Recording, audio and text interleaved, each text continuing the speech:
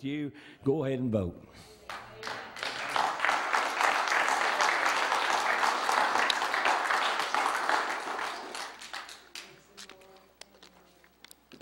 But God's people's got something to do. The whole promise in this scriptures is predicted on what God's people does. God don't look to Hollywood or the government, but to his people. He looks to us, the church, the born again. And if America falls or fails, it's going to be our fault. It's not God's fault. It's not our duty to persuade God to send revival. Now, now you hear me. I've had people say, Oh, let's have a revival, preacher. Let's have a revival. Well, the rascals is not paying their tithes, not coming to church, not living right, talking about their neighbor and all. God can't have a revival with that kind of people. Huh? Thank you, Mike. Go ahead, he said. Go on. But God can't have a revival of that. But I've had people look me right in the eye, and I know right, uh, right well they needed revival. But it's not our duty to persuade God to send revival, but we must pre- prevent, permit Him to do so. And what that means is to permit Him to do so, it's going to begin here in the house of God. 1 Peter 4 and 7 says it begins in the house of God. The hope of America is not in the White House or the State House or the schoolhouse. It's in God's house this morning. Now, look at the next thing that's in, in the Second Chronicles 7.14. It says, humble themselves. Well, let me tell you, this country, this country reeks with pride we strut in the face of God and we stand out in the streets and all and we mock Him and we say there is no God. God can't bless an individual, He can't bless a church, and He can't bless our nation when we've got such pride. Pride is the root of all evil. America today is filled with humanistic and haughtiness. The Bible says that we are to humble ourselves and James 4 and 6 says that God resists the proud, but gives grace to the humble. America needs grace this morning. Grace is both a desire and ability to do the will of God. God puts a desire in your heart and gives you the strength to live as you ought to. So if you stand here today and I've had people look me right in the eye, and so has all you other preachers. It's so hard to live a Christian life. I can't live a Christian life. I'm going to tell you, God's Word says otherwise this morning. God's Word says otherwise this morning. So, now the next thing, moving right, trying to move right on down. I want to get it all to you if I can. Next thing is pray. Pray.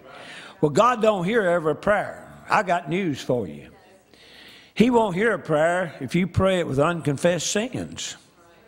Now you say, "Oh, preacher, you mean to tell me he don't hear me every time I cry, cry out?" No. The prayer that God hears is the prayer that seeks His face with a clean heart. In America, we ain't seeking His face; we're seeking His hand. Revival is when God can turn his countenance toward us and smile upon us. And do you think God can smile upon America today? I don't think so. Most Americans are seeking God's hand. We want God to do something for us. We only call out on His name when we want Him to do something for us. When we need help, when we need a blessing, when we need a financial, when we need a touch, call out on him when we need something from him. That's the only time that we call out on him. So, God is our only hope, but also he's our biggest threat. God's going to judge us. Pray for revival without repentance is like is, is a religious joke. It ain't going to happen. Why should God bless America again when we're just killing babies one right after the other and killing each other? I'll add that in there too. The murder rate, And then we're killing each other with all these drugs and all. And I, might I say this this morning? There have been 86 people die of COVID 19 in the, in the Knox County this year. There's been over 300 people die of drug overdose in Knox County this year. I have seen five or six of them because I've worked those scenes. But they've been 86 dive coded, 300 drug overdose. You say, well, preacher, I can't do anything about that. Could if the church would get right with God, we could. The church would get right with God. Why should God bless America when He's cursed, defamed, can't even be mentioned in public places? God will not bless America unless we turn from our wicked ways. To pray without repentance angers God. Now, I want to read this to you if I can, if I can find it right quick. In Psalms chapter 80 and verse number 4 says, O Lord God of hosts, how long will thou be angry against the prayer of thy people? So, listen, folks, you pray and you're not right with God, it angers God. You say, I'll get his attention. You'll get his attention, all right. Joshua is a, is a good example, too, moving along. Joshua, if you remember about them and was talking about this pride and this praying and all, Joshua in chapter 7, boy, we see, we see old Joshua leads these people into battle. They go in and they take the city of Jericho and the walls come tumbling down. They said, Man, we're it. We, the children of Israel, said, We're it. And then they said, Well, we got another little city over here we got to go whip. That's Ai. Two little, two little words in a little city. They go over there and they get whipped just like a bunch of whipped puppies. People get killed and they come back and they go to crying, moaning, groaning, and asking God. And, and even old Joshua, you remember the story I told you before? He just he laid down on the ground on his on his face and he's just a crying and carrying out to God. And and I, I preached this one time before and I said I, I think God feels like this coming and kicking him, saying, "Get up, yeah. get up." Because he said, Oh, what's wrong? And he, God just simply tells him that you got sin and pride in the camp. That's what's wrong. You can't win a battle without combination in the camp. So, prayer is not some kind of smokescreen in which we can hide our pride and our sin. And also, the word repentance in there in here. There must be repentance, folks. Now, people don't like to hear this, and people don't like to hear this, but I'll give you some statistics and I'll move on with that. I know my time's coming into a close. But repentance is mentioned in the Bible 969 times. The first message that Jesus Christ preached was to repent. The last me- message that Jesus Christ gave to the church was to repent. The message that God has given us today is repent. Luke 13 and 3 says, I tell you, except you repent, you shall all likewise perish. I believe there's something to this repentance, don't you? And, and let me tell you, real hurriedly, real, real hurriedly, right quick. People say, "Well, repentance. I feel sorry. I, I mean, I mean, uh, I, am convicted of what what I do." Well, let me let me just give you three, or four real examples right fast. Acts 24 tells you about Felix. Oh, Felix was convicted of his sin, but he didn't repent. Exodus 9 and 23, Pharaoh confessed his sin, but that was when the fire and the hell come down. But the conviction that was born in the storm died in the calm because he didn't repent. And repentance is more than just being sorry for your sin. Tears, now here, listen, I'm not making fun.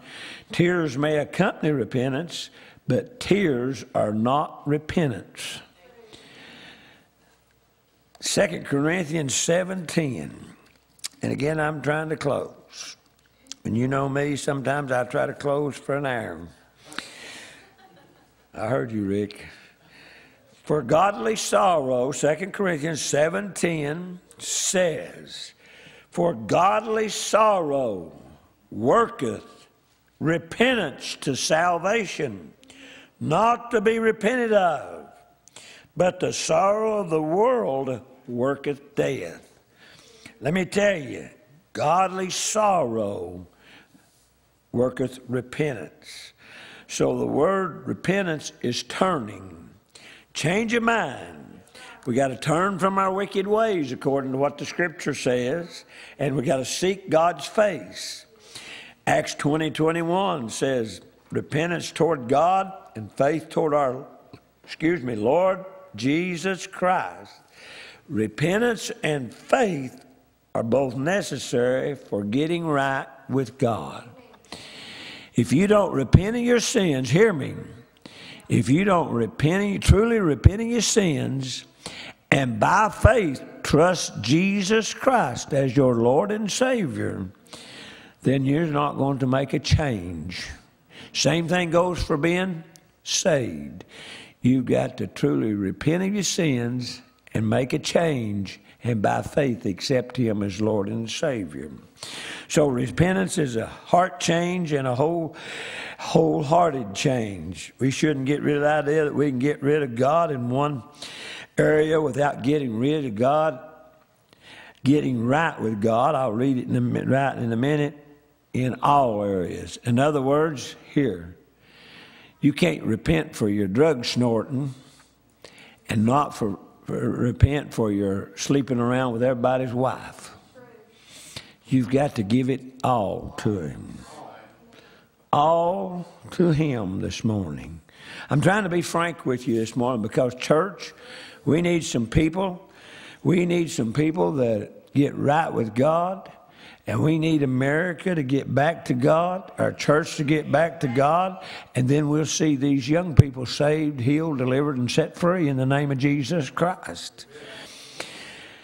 So, repentance is not, is not gradual. It's once and for all, now and, for, now and forever, being sick of your sin and turning from it. Ezekiel 14 and 6. Let me read that to you right quick. Therefore, say unto the house of Israel, Thus saith the Lord, Repent and turn yourselves from your idols and turn away your faces from all, all abominations. All abominations. I've got more here, but I'm going to try to close here just right, right now. The reason we don't pray, though, and we don't seek his face is that word pride, as I said earlier. Proverbs 6 simply tells us seven things that God hates, and pride is at the top of the list. It's at the top of the list. But look at this. Look at this. Let's end. In Second Chronicles 7.14, when we read that to you, and when we always read, read that, we read the whole thing to you. But here's the promise. Here's the promise.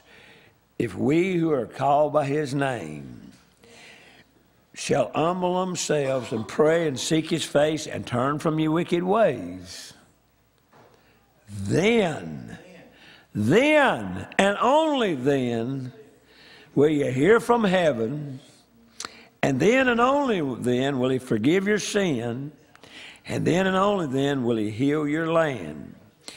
So, let me tell you, it's not too late for America. It's not too late for this church. It's not too late for your church preachers. But it's time to get back to the truth and the right, which is God's holy word. Because I want to tell you, God's not a Republican, He's not a Democrat.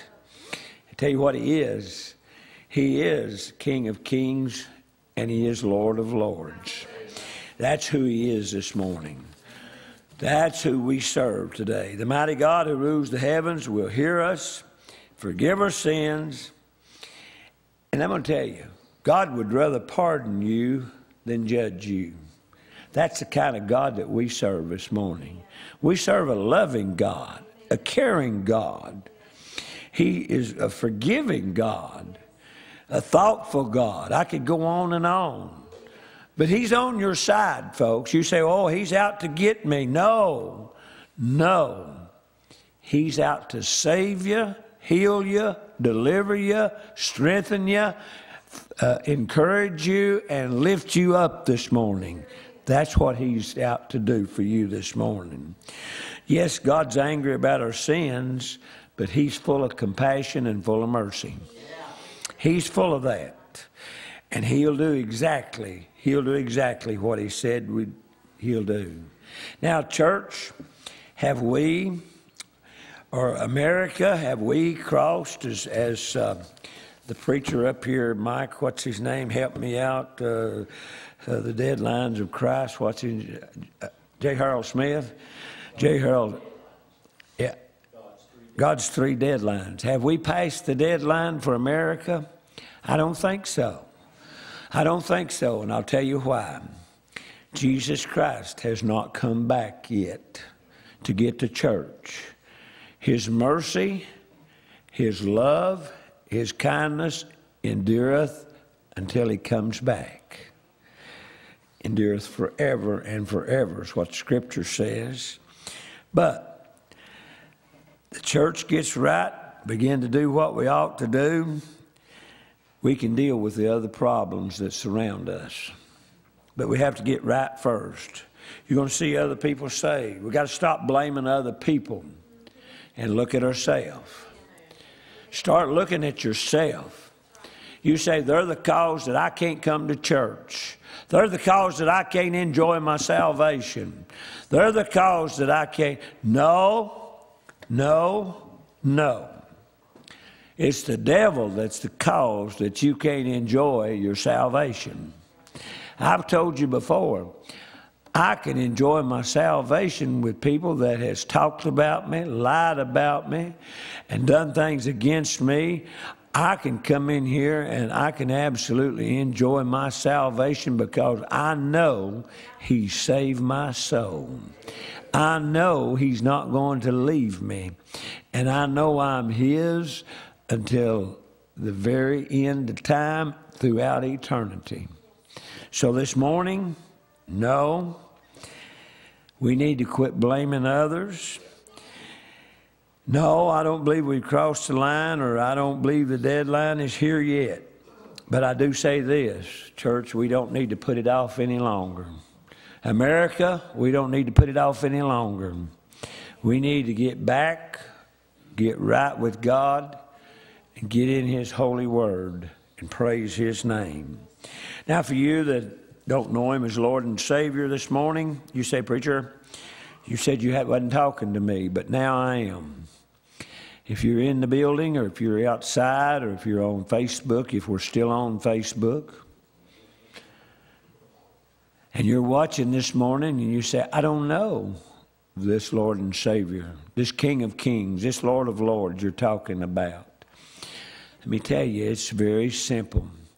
If the Holy Spirit is dealing with you, you have to be drawn by the Holy Spirit. I can't draw you, I can't make you.